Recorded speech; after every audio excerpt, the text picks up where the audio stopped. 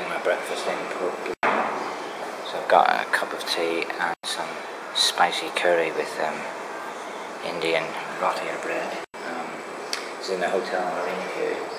It looks out onto that street, which to the right is the, um, the marina and the harbour here in Port Blair. It's a quiet wee restaurant, part of the hotel complex, which is um, is upstairs.